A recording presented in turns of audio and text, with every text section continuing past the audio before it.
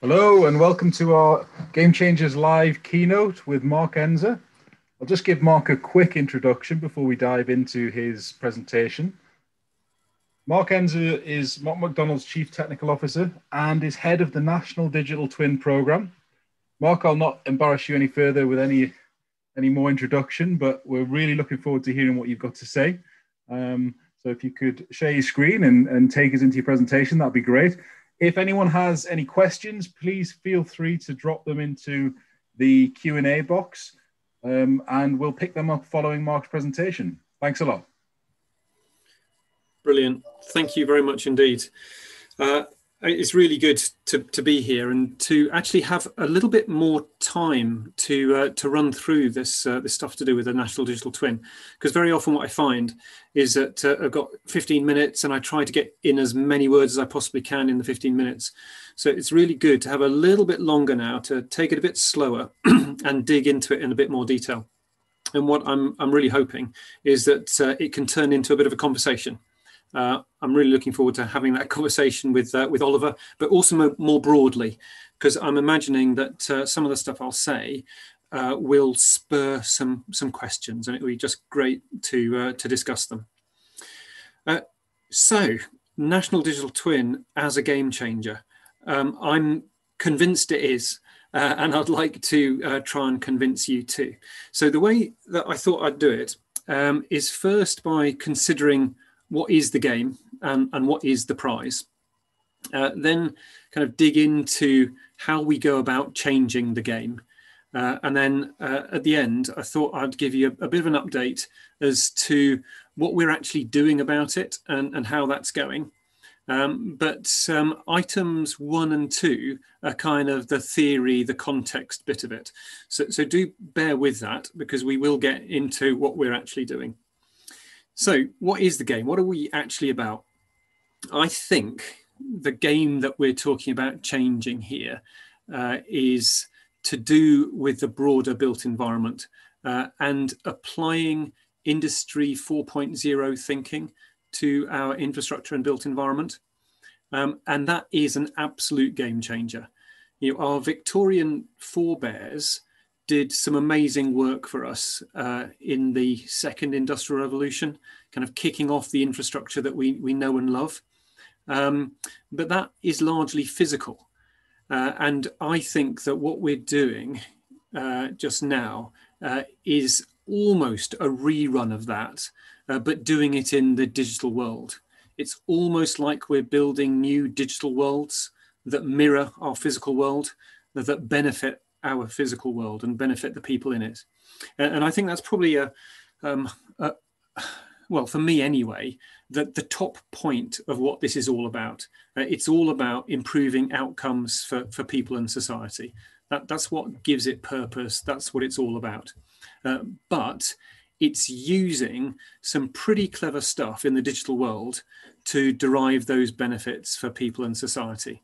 So I, I, won't run laboriously through what those kind of benefits might be of a national digital twin, um, but I think they're very wide ranging uh, to society around improving better outcomes for, for us, um, particularly through having higher performing infrastructure and the services it provides. Uh, I think massive benefits to the economy uh, in terms of national productivity uh, that derive from uh, using our infrastructure better.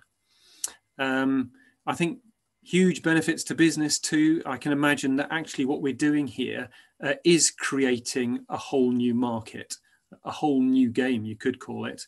Um, for those who are um, buying digital twins, connecting digital twins, selling products and services in that market.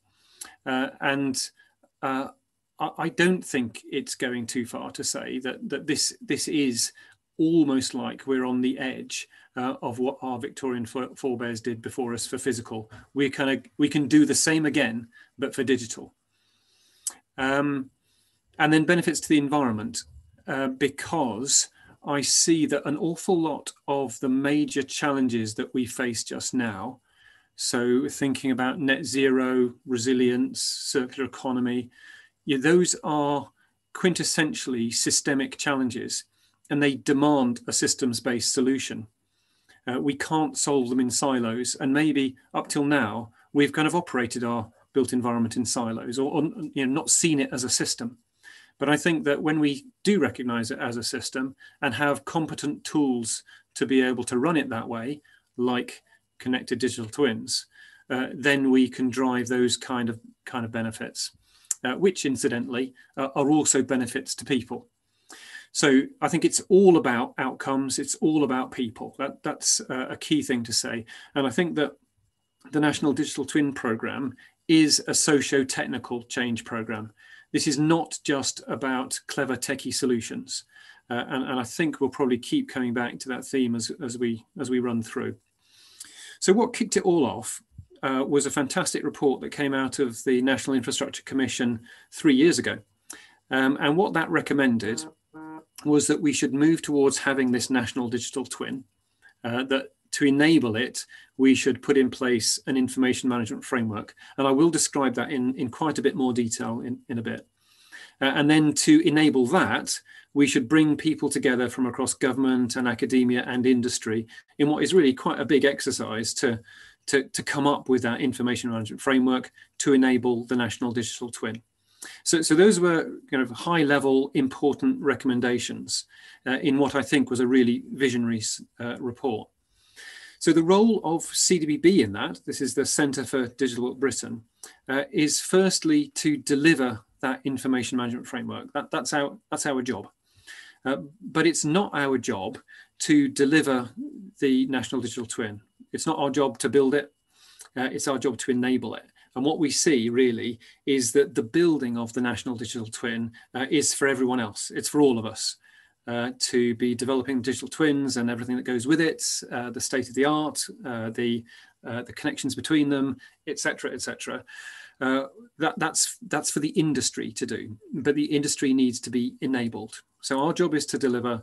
It's the industry's job to actually go and do the building, which is good news because that means a whole new market. And I think that when we're talking about changing the game, um, a large part of that is to do with how we uh, enable that market to be a vibrant market with low barriers to entry that enable all sorts of players to come and play and do their stuff uh, and innovate and do all sorts of wonderful things so that we end up with the, the best kind of national digital twin. So in driving this, I guess it's important to have um, have a vision uh, and, and, understand where we're going. And, and I think I've, I've probably I'm, on the verge of labouring the point too much now, but this outcomes focus I think is really important. You know, it does have to be all about um, driving improved outcomes for people and society. Uh, and a key part of that has to be the impact on the natural environment. So I think we're talking regeneration here. We're not just talking uh, about some kind of passive interface with the natural environment. So it's outcomes focused. Uh, but also systems based. And I think a systems based view uh, is key to unlocking a lot of the value. Now, we, we put out a, um, a, paper earlier this year called Flourishing Systems. Uh, I'd, I'd, recommend it, Google it, have a look at, at what it says. Um, but, but the next few slides are really borrowing quite heavily from that uh, to, to illustrate really what we mean by that, but also why it matters, why it's important. So the first thing, I guess, is for us to see the built environment as a system of systems. Uh, it's the most amazing thing that we've built within which we live. We've built it for, for our own good. Uh, I think the built environment doesn't always act like it's for our own good. Uh, and I guess if all we do is just concrete over uh, the, the, the, the nearest park, then it doesn't feel like that but but you know really important to see that, that this is something that we have built for uh, for our benefit. Uh, and it, it, it needs to have that benefit at its heart. So i think that uh, that people should be the, the kind of the beginning and the end of all of this. But anyway what, what that what that thing is that we've built this system of systems consists of economic infrastructure. So that's um, our um, transport networks energy networks water networks um, waste treatment networks, telecoms networks. That's our economic infrastructure. And each of those are, are complex interconnected systems. Um, and then our social infrastructure, so our hospitals, prisons and schools, commercial, industrial buildings, residential buildings, uh, all of which absolutely rely on the economic infrastructure uh, to make them work. so again, complex and interconnected. And then the natural environment, which itself is a complex interconnected system, uh, and our built environment interfaces with that. So when you add all of it up together, you get our built environment, this most amazing thing that we've built to live inside. Um, but we don't always see it that way. Uh, and if we don't see it that way, uh, then it's very difficult to manage it that way. And if we don't manage it that way, then we can't get the best out of it. So I think it's really important for us to see this as a system of systems. But maybe even more important than that is to see it as a system of services because people live in this thing. Uh, and uh, as I say, it's all about people. Uh, and what people really do, I think, the, you know, the way they get the benefit uh, is, is, from either direct or implied services from the uh, the infrastructure, and that's how we get the outcomes, the ones we desire: social, economic, and environmental outcomes. Uh, and, and I think that this connection uh, between the kind of the rather mechanical system, which sounds like it's just about technical, uh, and the people is to do with the services. So if if we are really focused on people and we make the connection between the kind of the hard concrete and steel of infrastructure and the soft squidginess of people, then it's the services that make that connection and deliver the outcomes. So a system of services too. And if we've got this systems based view of the built environment, then it, it reveals some interesting things because uh, in the UK, we've got something like 99.5% of the infrastructure and built environment that we need already. And then each year, we add 0.5% to it. Uh, and so we put quite a lot of, of thinking into the new stuff, that 0.5%. And that's important because that 0.5% is our construction industry and the construction industry is worth something like 9% of our gdp you know so that is huge. That really does matter. It might on this diagram look like a small number uh, but it really really matters. But also the 99.5% really matters. So the argument here is that we should take a, um, a whole view, a holistic view of the whole thing, uh, and basically come up with solutions which are for the 100%, not just for the 0.5, not just for the 99.5, but for the 100. Um, and if we're doing that, then I think we can see some really interesting uh, processes that can be improved throughout that life cycle. So for me, the most important processes are to do with the use. And this is me making my point again about the services, because the whole point of it is for people to use it. Uh, so that should be right at the center of the processes that we improve. But in order to make the built environment and the infrastructure available for use, then what we have to do is operate and maintain it, obviously. And those processes, the operation and maintenance, generally happen at a system level, not at an asset level. Uh, and so we can see those processes basically carrying on forever. For as long as we want um, our built environment to work for us, we need to operate and maintain it. Uh, it doesn't have a life cycle, it goes on forever. But then every now and again, we need some new stuff. Um, and like I said, that's really important. Um, and so what we then do is kick off some planning and design and building, and then we integrate it back into the into the system. So I think it's really important to see um, our projects uh, in, in terms of being interventions on the wider system.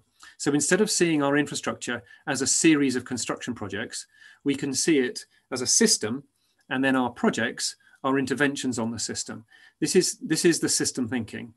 And every single one of those processes on this diagram can be improved. They can be improved by making better decisions faster and cheaper. Uh, and how do you make better decisions faster and cheaper? Well, it's got something to do with managing information better.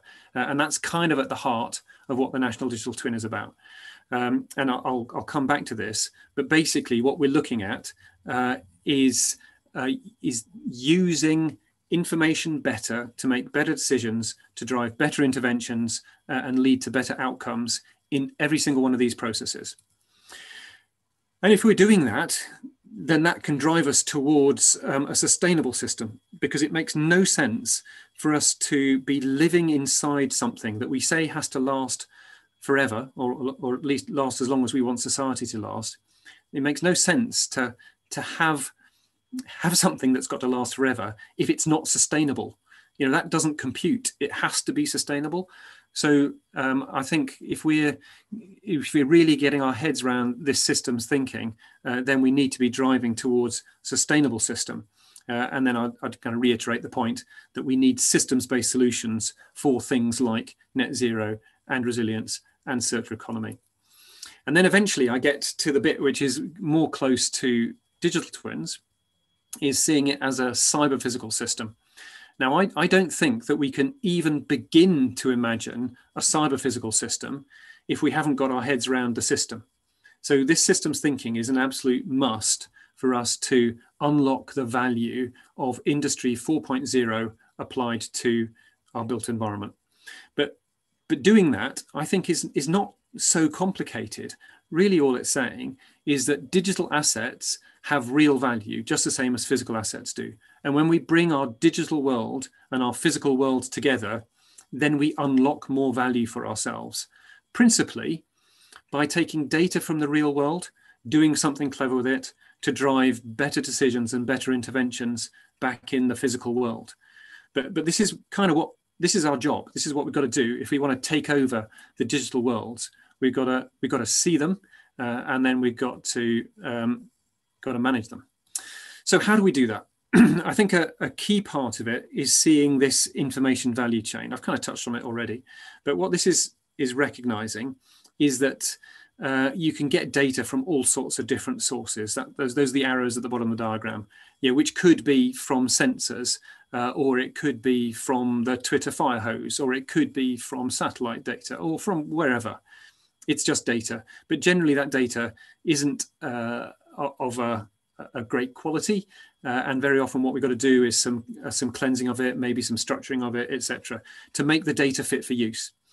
So if we, if we do all that lovely data management, which is hard work, incidentally, but if we do that, all we're left with is data that's fit, fit, fit for use. It's still just data. We have to do something with it to generate more value as we go up this, uh, up this triangle.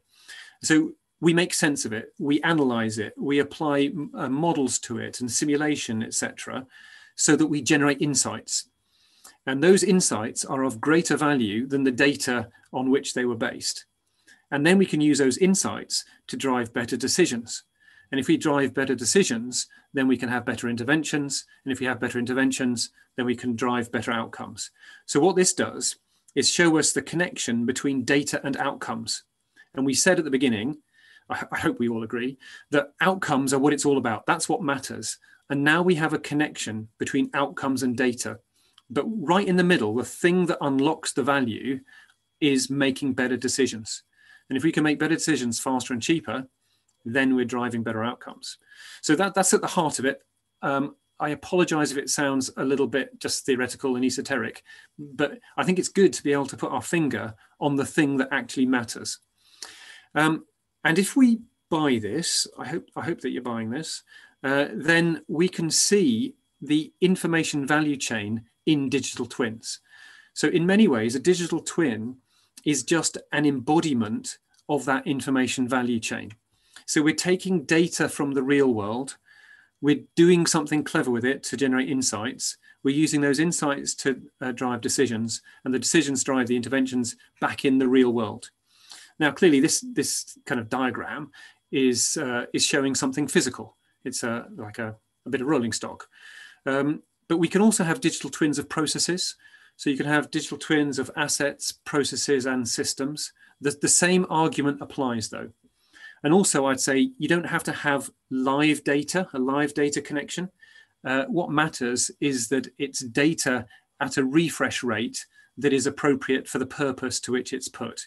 And this is a point that we keep coming back to on digital twins, that they really need to be driven by purpose. You know, what is the purpose of the digital twin? That will then determine pretty much everything else, including the data refresh rate. And then inside the digital twin, we can see that there's something really important about the data handling, uh, which can come from many different sources. um, there's something very important about the model, you know, the core code which is being used to generate the insights. Uh, and then I think there's something really important as well about visualization and helping humans to have a window into the digital twin so they can see what's going on uh, to help make the decisions. Uh, and then there's a whole question about where does the human fit in this loop? You know, it, it's, it's a, a, human in the loop type question. Uh, is it just in making the decisions uh, or is it part of making interventions? So lots of kind of questions and variables uh, in what, what constitutes a digital twin. But I'm hoping that I've said enough here uh, to indicate what they're basically about. And if we can imagine a digital twin for one particular bit of our infrastructure, then we can also imagine digital twins for, for other bits. So now we've got a digital twin of the train, digital twin of the track, digital twin of the signaling. And doesn't it make sense to kind of connect them? Because there's going to be some data from the track that's relevant to the train and vice versa. And so now we're starting to think of how we connect the digital twins and notice that what connects them is data. It's secure, resilient data sharing. That you know that's what connects twins. But if we can do that, then we have something that's even more valuable than just an individual digital twin, which incidentally is super value, valuable anyway. And we can take that outer layer and look at connected digital twins um, across transport sectors, so between road, rail, and air, for example.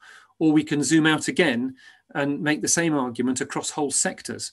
So connections between road uh, and, and sorry, between transport and energy and water. Now, I think that this is really interesting because if we take that systems view that I was espousing earlier on, then we can see that actually in the physical world, all of these sectors are connected. You know, energy is basically connected into all other sectors. And particularly as we move towards having electric vehicles and charging points all over the place, you can ask, is an electric vehicle part of the transport sector or part of the energy sector? Truth is, it's both because they're all connected. And therefore, this kind of secure, resilient data sharing becomes absolutely essential and, and key to having um, tools that can help us manage the systems. So that's, that's starting to describe an ecosystem of connected digital twins. And eventually, I've got to the point of saying what the National Digital Twin is. So it's not one massive model of everything. It's envisaged to be an ecosystem of connected digital twins. Uh, and we're not saying that it's going to be connecting every digital twin with every other digital twin. And we're not saying that everything that moves is going to have a digital twin. What we are saying is that it should be driven by purpose. So where it makes sense to have a digital twin because it can help drive the better decisions, then you should have one. And where it makes sense to connect digital twins, then you should make the connections. And so what we're, what we're talking about is this ecosystem which is driven by purpose and an ecosystem that would grow one purpose at a time. And so you can kind of see it growing almost organically, one purpose at a time, which in many ways does mimic how the physical infrastructure grew.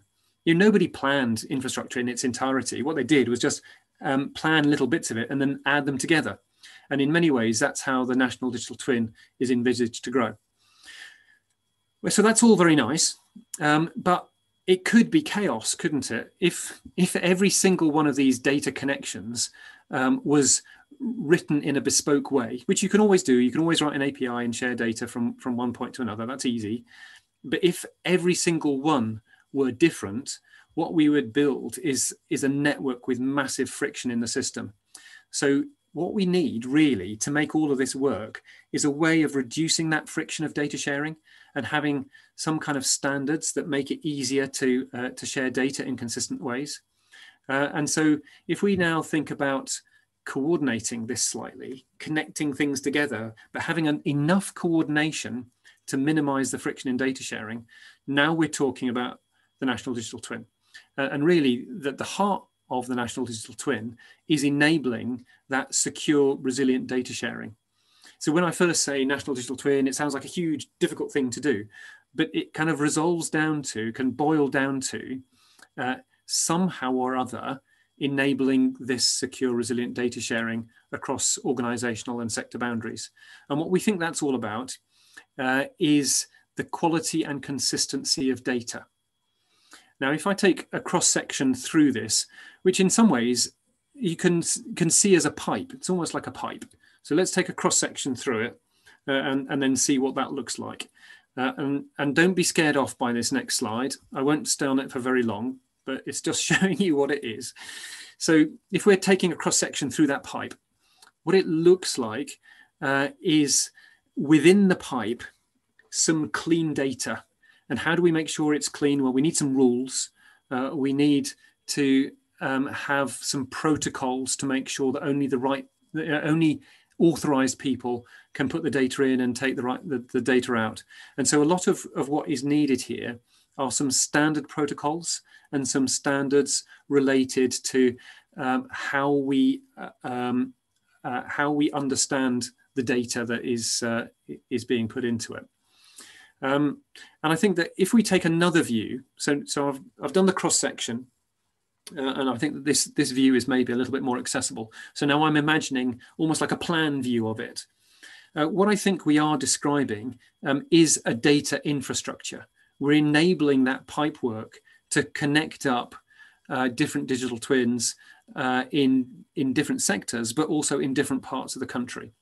So this, this really is a data infrastructure. And we're very familiar with a physical infrastructure of transport networks, energy networks, water networks.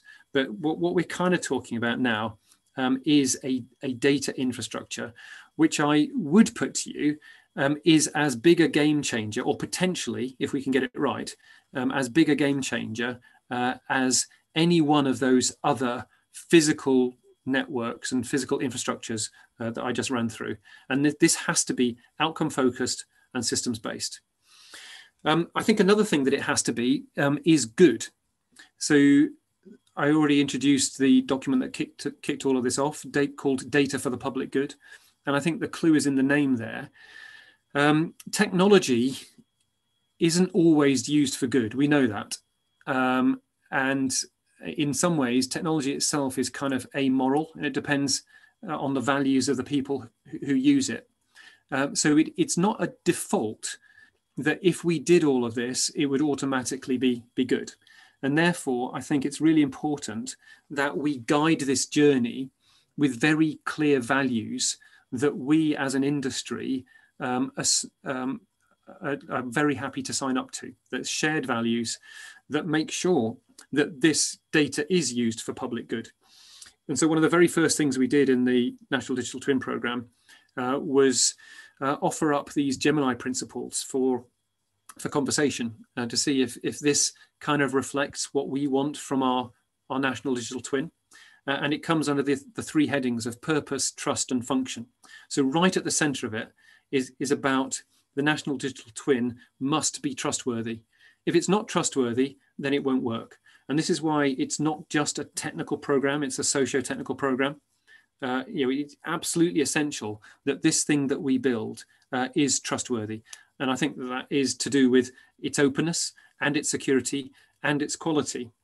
So I won't run through what all of these principles are, but I think it might be interesting to come back to them in the conversation because you can kind of see some tensions in there. Because what we're saying is that it must be as open as possible, but also it must be secure. You say, oh, that, that sounds like a tension. And now we're, we're not saying where that balance point lies. We're just saying that they're both important. And the way we get to the right balance point is through conversation, uh, through dialogue uh, in the industry. Um, but, but I think that the point for me here that's most important is that this journey needs to be guided by values because there's no default that says that, that technical stuff works out well. We, we've got to put in effort to make it work out well.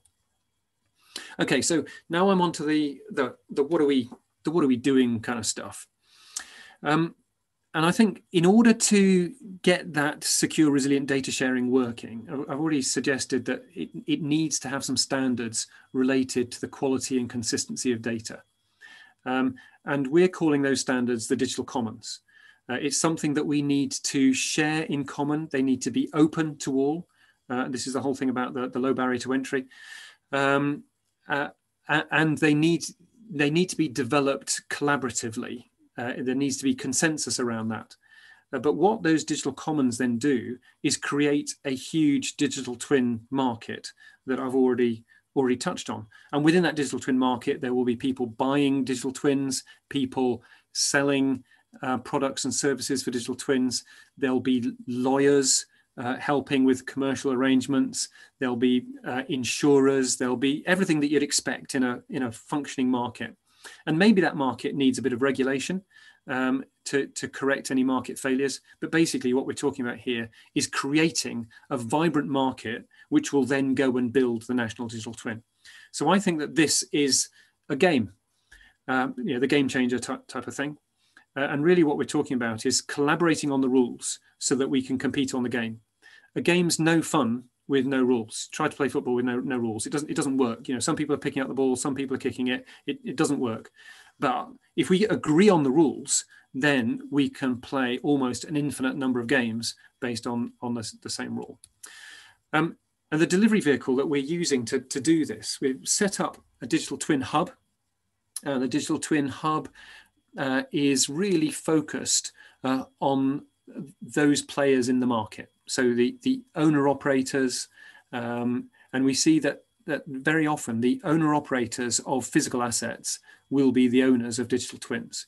So these might be owner operators of, um, of infrastructure. Uh, they might be um, cities doing a similar thing in, in cities or local councils. So, so the owners of digital twins, uh, but also the suppliers of products and services. Also, we're starting to see an academic community uh, grow in the digital twin hub.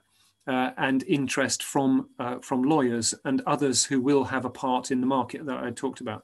So the digital twin hub really is a, a means of concentrating that community of people who are uh, are making waves uh, in digital twins. Uh, and what we've said about the digital twin hub is it, is it should learn by doing and progress by sharing. If everyone had to go away and develop their own digital twins in their own way, learn all their own lessons, fall down all their own holes, uh, then you can see it will take a long time. If we bring them together and share the lessons, then we can get to the destination quicker. So that's that's what the digital twin hub is, is about. It's, it's about practitioners learning by doing, progressing by sharing. And then we've got our digital commons where we have uh, some, uh, some specialists who are helping us to develop those common rules that um, will hopefully benefit the whole game. The collaborate on the rules, compete on the game thing. Um, and what we see there is that it's really important that those um, those solutions that we're developing should be tested and validated by the practitioners. Um, it wouldn't work uh, if we were just to come up with some um, some semantic solutions and just kind of impose it on the market. The market wouldn't like that, uh, and, and it wouldn't work. So I think if we're going to recognize this as a socio-technical change program, how we go about it really matters. So we, we need somehow to, to um, enable that collaboration on the rules. But where that happens uh, is in digital commons. And then we've got the third part of our vehicle, which is about the change program itself, uh, the social technical change program. And this is because in the digital twin hub, we see the innovators and the early adopters. And the digital twin hub now has 777 members the last time I looked. So, so that's absolutely brilliant. And the DT hub is a, is a vibrant, exciting community, but it's not everyone. Uh, and for us to unlock the full value of the national, national digital twin, it needs to spread far and wide. And so we need a means of engaging with um, a, a, much broader community. That's the socio-technical change program. And um, another point to make on this is that if we were to come up with a perfect technical, technical solution, uh, but it wasn't adopted, it would be completely useless. So the adoption is equally important as the um, as the technical solution. Um, in the DT Hub, um, it's just about to go for a, a, refresh on, on what it looks like and how you interact with it. So in some ways, what I've just shown there might be out of date in a, in a few moments, but um, it really is an exciting community and I'd, I'd, commend it to any of you who are um, active in this area. Uh, join up, uh, join the networks which are, uh, are involved there. Um, and, and, the best thing really is to get stuck in. So rather than kind of go just as a, as a consumer, Uh, there is some great stuff in there to consume, by the way, but it's even better uh, if you get stuck in and, and, contribute because then it's much more like a community. And maybe that's an important thing for me to say is that the DT Hub essentially is a community. Um, the website is just an enabler of the community. Then in the Digital Commons, earlier this year, we uh, published this report, The Pathway Towards the Information Management Framework. This was us suggesting what the way might, the way forward might be. Uh, and we've invited um, consultation on that. Um, we invited people to come back to us to engage and say if it works or if it doesn't work for them. Um, essentially, what we're seeing is that there are, there are three key parts to the digital commons. The foundation data model, which is all about enabling um, a consistent approach to data modeling. Uh, the reference data library, which is all about enabling um, us to have shared reference data. And, and, basically, if you don't have those two things, data sharing becomes really difficult. If everyone has got their own data models which are completely incompatible, that increases friction. If everyone has their own version of reference data, that increases the friction. So, so addressing um, the foundation data model and the reference data library feel like essential things for us to do. And then the integration architecture is all about those protocols that I said earlier on the cross section of, of, the pipe diagram. Um, and then very recently, we've published um, these documents, the survey of top level ontologies and survey of reference data libraries. Um, now, those are, are deeply technical documents, but I would still commend them to you because the team that has written them have written them in such uh, such a clever way. I can say this because I wasn't in the team, but they've done a really good job. That means that even though it's highly technical, it is accessible, and you can see the kind of the direction of thought. Um, the pathway towards the information management framework, likewise, um, is a very accessible document. Uh, so I, I, would commend it to you. Um, and then finally, on the um, on the change program, uh, we've set up um, a number of different ways in which people can interface with the program. So one of the most important ones is that every Tuesday we have what we call a Gemini call, and that's inviting people in to see what we're up to. And it does change every week. There's there's new stuff happening, so it is worth coming every week. But if you don't want to come every week, you can come once a month, and you'll still get a window into what's happening because as I've explained before, we, we really need this to be open and people need to see inside to see what's what's going on. And we've set up as well what we call Gemini supporters and Gemini ambassadors, ambassadors for individuals, uh, supporters for organizations that want to come along and get involved in the journey and, and do something. Uh, so I'd commend all of that to you. And that that probably concludes what I was saying. Uh, what, I'm really hoping is that you can tell from that that there is the potential here to change the game. I really think that this this is a potential game changer, uh, and the the actuality of changing the game depends on us. You know, it's up to us. We can do it, uh, and I and I really hope that we do. So, thank you very much. Thanks, Mark. Absolutely brilliant presentation. Um, we have got a few questions coming through. I think I'll I'll uh, as they continue to feed through, I'll just fire a few other thoughts at you. Um, I think you've ticked an awful lot of these things off the list because you've already described the value of the digital twin to businesses in the sector. Um, I'd mentioned earlier and, and was thinking about the idea that obviously there's other nations involved in trying to capture data and work with data. And I was on a call yesterday with some um, design team colleagues in the US and in Canada. And it would it seems like they could really use something like the Gemini principles because if you look at Toronto, for example, and the Google Sidewalk Labs project, that hit challenge and barrier after barrier due to uh, a lack of transparency and clarity around the way data was used around its ethical use. Um, and so my first question to you is what give give us a bit more insight into that sort of ethics and privacy and how that might be seen. And the second question is more, much more on the sort of public level about, I know that we've got shared views on this, but we have to engage the public in, in the development and the use of this. So is, has there been any thought as to how the public will, will engage with digital twins and, and, and learn to love them as opposed to learn to, learn to fear them, I suppose?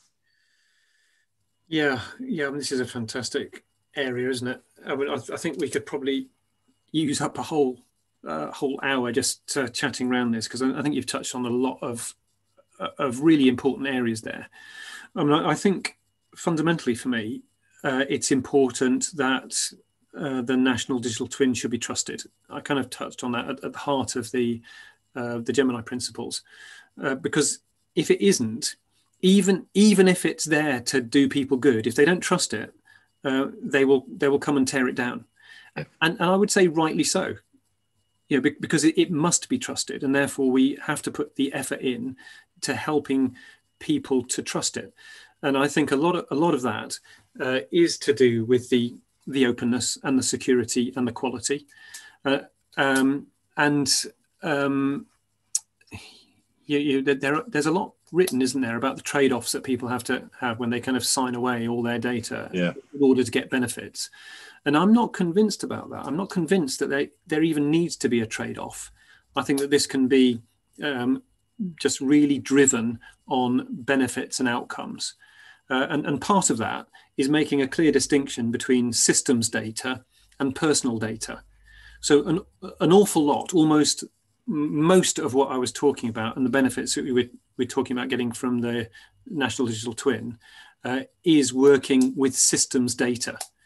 It's data about our assets and processes and systems in the built environment. It's got nothing to do with personal data. I think your, your description of the system of systems was was really interesting, and and actually, what really grabbed me was the the idea that service to the community was at the heart of that. I mean, is is the national digital twin something that you can see being of service to the to the wider community? And by that, I mean that we are, will freely give away as much data as we possibly could ever fancy on our mobile phones because they offer such high levels of convenience and we almost give away that trust um, because we're receiving such conveniences from the service. So is, is, is, can you imagine a future where the digital twin is being used by, by the everyday public? Very much so. Yeah, I'd really hope so.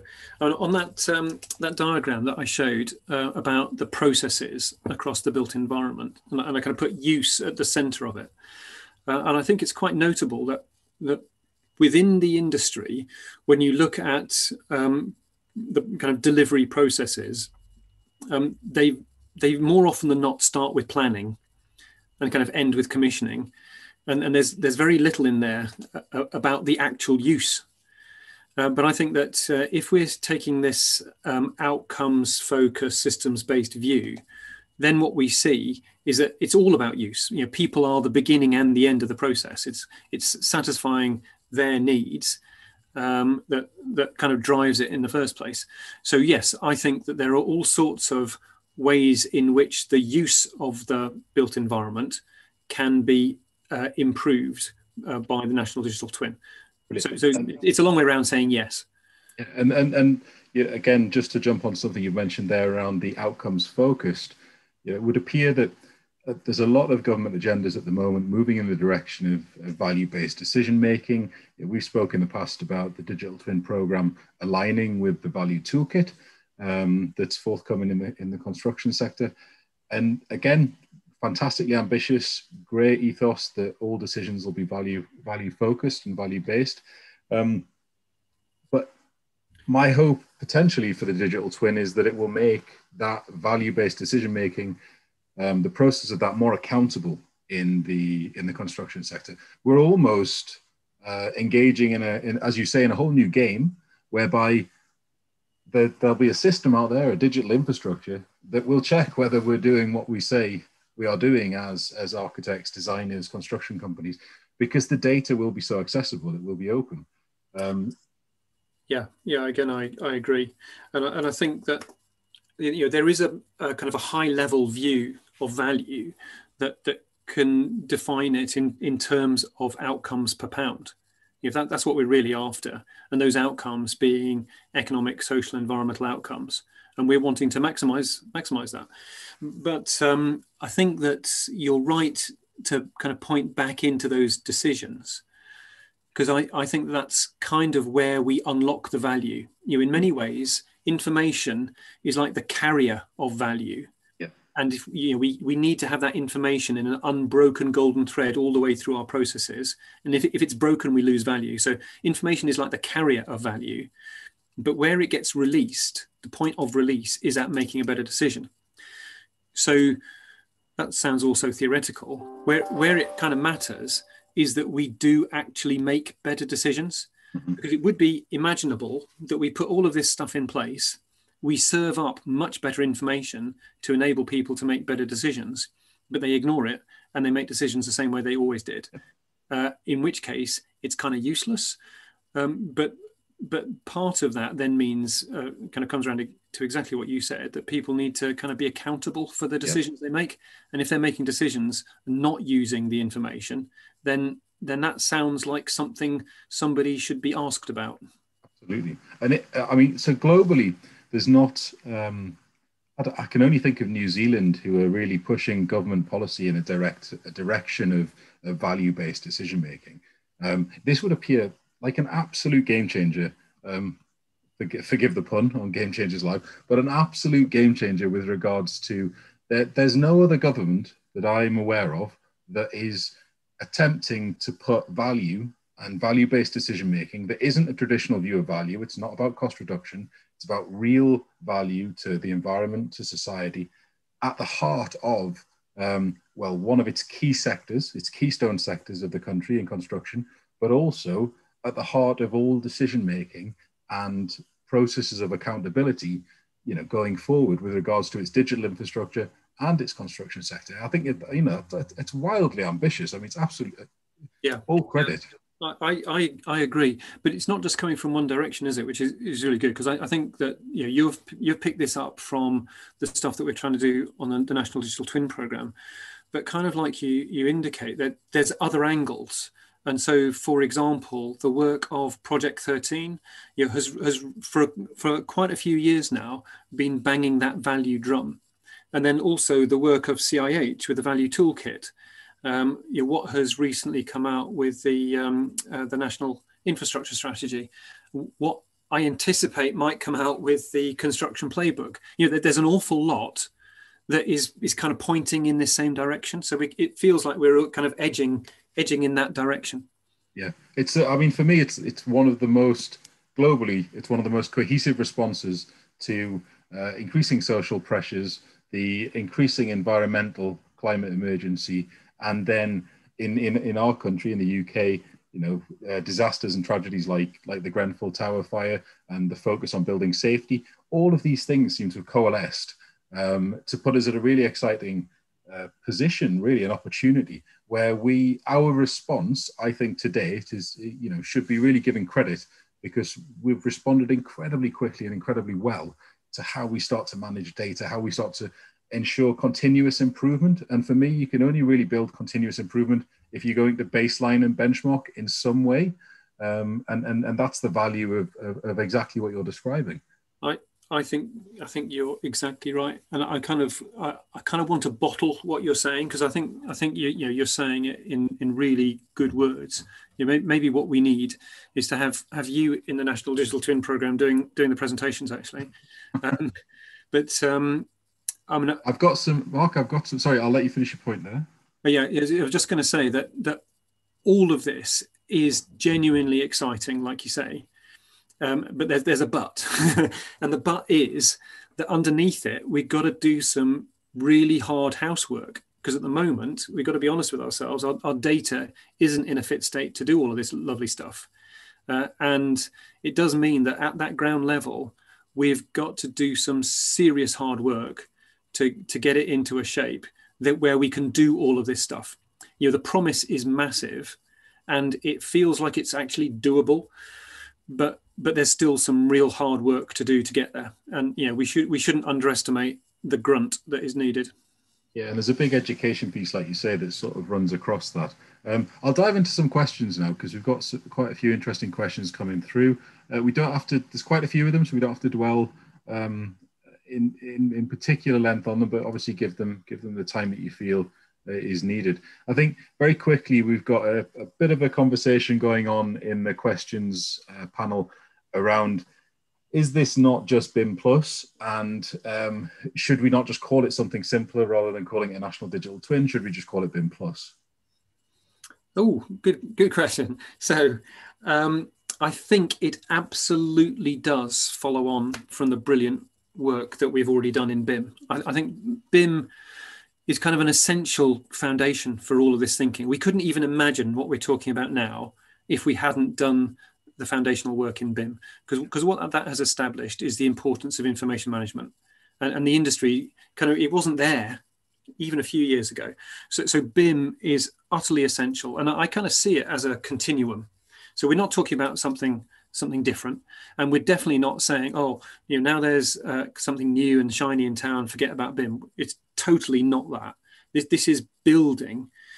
Um, I think when it when it comes to the name, you know, a, a, rose by any other name would smell as sweet. Doesn't matter what you call it. You could call it Bob if you want to. It's still the same thing.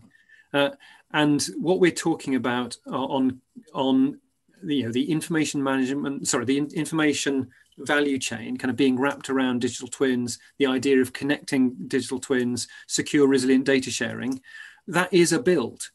You know, it, it, it's that's not the same. It's a build on an essential foundation, but it's something more. So I, I think, um, in many ways, call it what you will, it's still the same thing, and it's still valuable.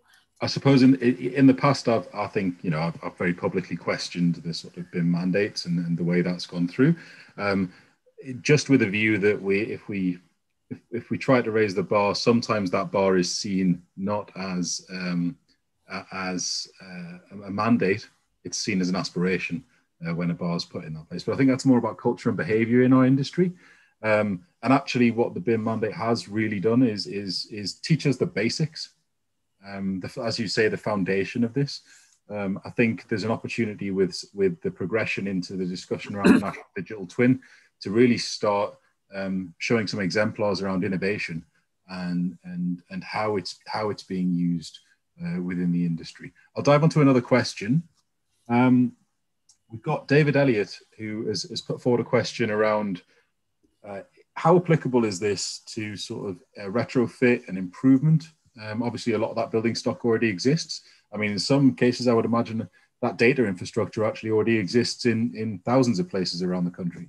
Exactly, that's precisely. I think I think you pretty much answered the, question there. So yes, it's totally applicable to retrofit, um, partly because of the amount of data that already exists, um, but also um, because the cost of capture of new data is is dropping through the floor. Uh, you know, whether that's from sensors uh, in existing buildings, uh, or even kind of capturing uh, geometric data of existing buildings.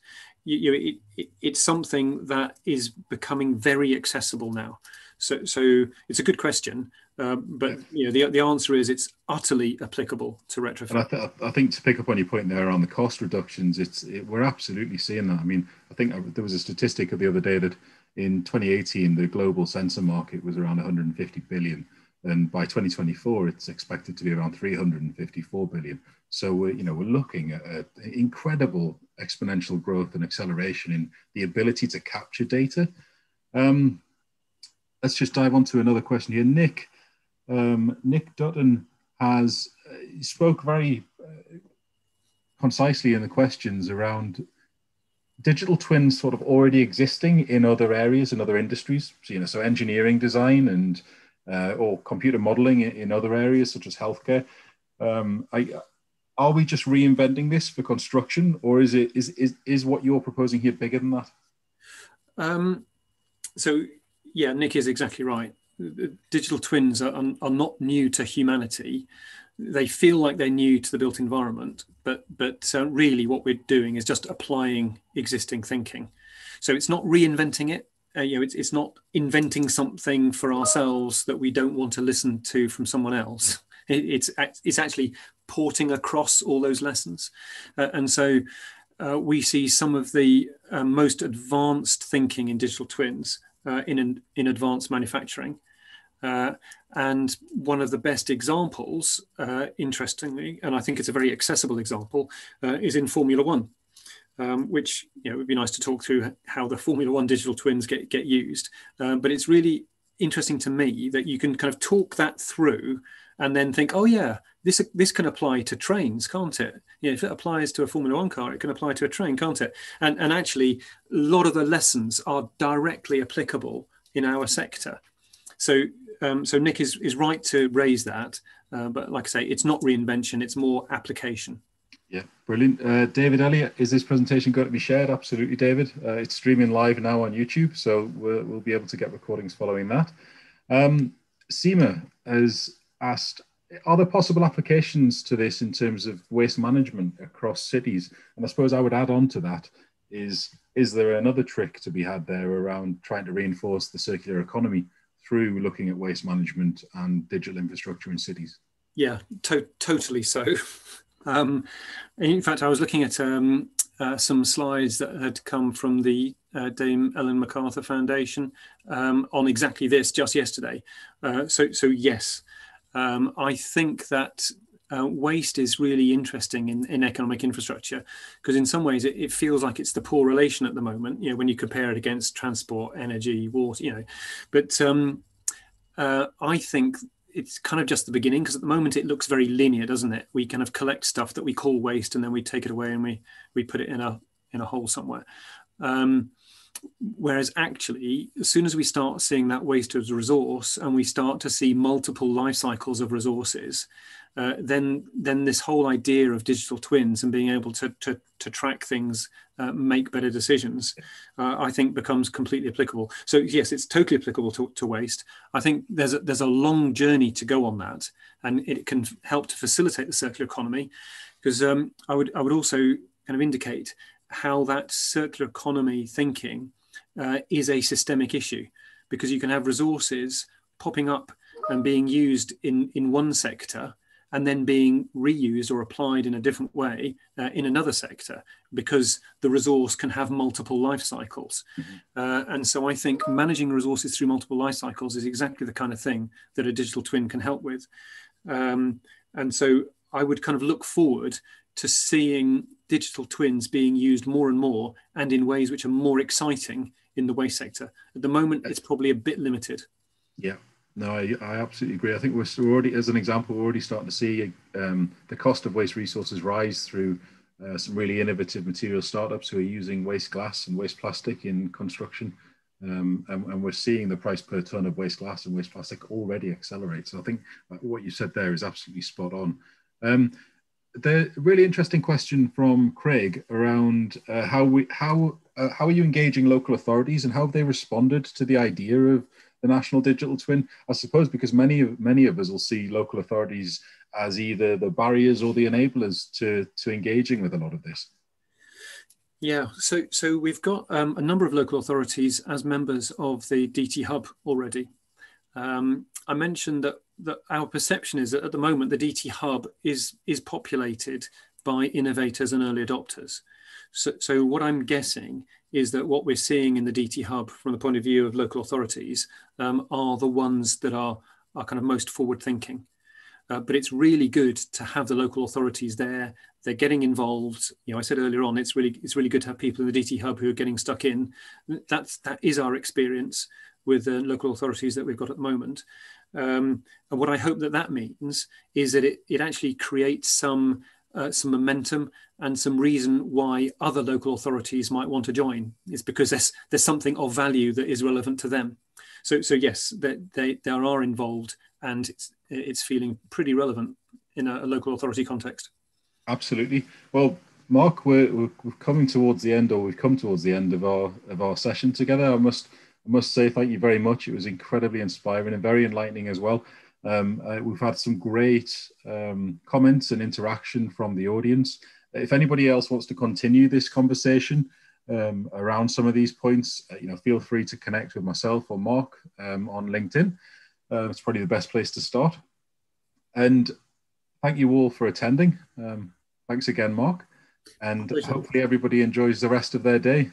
Yeah, and thanks. You're, you're a great host. Here's Mark. Okay, thanks everybody and enjoy the rest of Game Changers Live.